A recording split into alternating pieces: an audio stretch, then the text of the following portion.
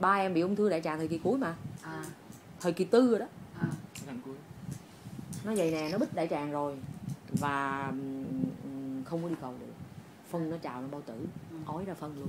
Trời ơi sợ nằm ở à, Triệu An là chị là lúc em mới vào công ty làm được khoảng năm hay gì đó. Thì em mới quýnh chân em mới hỏi đủ em hỏi khoa học gia điều trên em hỏi chị Hà.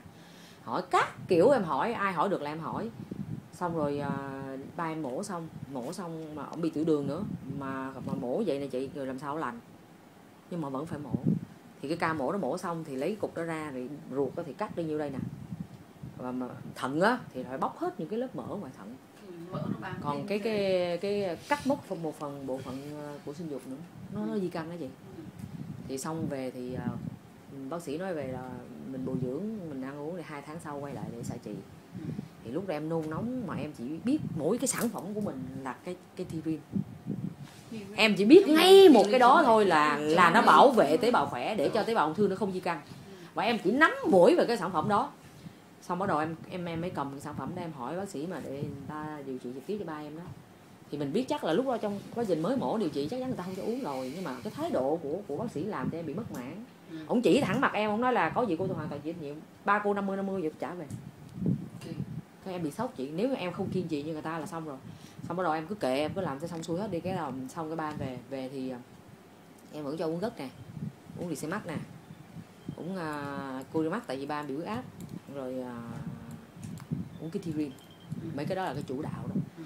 em nói thôi bây giờ bố phải nghe lời con. Ừ. bây giờ bác sĩ nói là 50 50 bây giờ bố uống cái này bố cũng chết bố không uống bố cũng chết. Thì thôi thay giờ bố, bố uống đi. Có gì đó tụi con không có ân hận là tại vì con biết cái này nó giúp cho bố được mà bây giờ bố không uống mà mà con biết cái này mà giờ sau này nữa có gì con ân hận. Thế à, ổng mới à, ổng nói được rồi để để tao uống uống mà giấu sĩ. Ừ. đó thì à, hai ba tháng sau ổng khỏe mà chị uống gốc vô nha làm vết thương lành chị. Đúng rồi hay Đây tiểu đường hạ xuống bây giờ không còn tiểu đường luôn.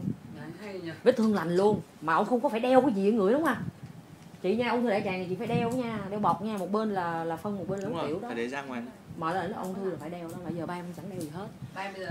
Bây giờ à, thì để em kể tiếp. Xong rồi cái à, 3 tháng đó tới ngày xuống để xạ trị. Thì xuống thì à, vô kiểm tra. Bác sĩ nói thôi về tuần sau xuống. Cái xuống cái lần thứ hai xuống về thì tuần sau xuống cái lần thứ ba. Lần thứ ba là gia đình nó chuẩn bị hết quần áo thứ để chuẩn bị vô hội chuẩn nâng nhập viện luôn rồi đó cái vô ngồi chừng hai tiếng hồ mấy anh em ngồi ngoài chờ thì vô bác sĩ hội chuẩn thì đi ra thì bác sĩ nói không xạ trị không sợ chị nữa. Cái em đứng đó em nói trời ơi, là em đứng em niệm phật không đó. Là xong cái à, chỉ cho cho thuốc về uống thôi. Và mình nói quá tuyệt vời bắt đầu về là cứ tiếp tục uống tới bây giờ. Thì chị biết là một năm trở lại đây là không còn tế bào ung thư trong người. Wow. ông là rất khỏe mạnh hồng hào. Và bây giờ là đi làm đi ra ngoài vườn các thứ là làm rất khỏe mạnh. Và mỗi một lần em về là em nhìn gì em em, rất em, vui. em yêu Nu Skin em không chịu bỏ là đúng Ừ.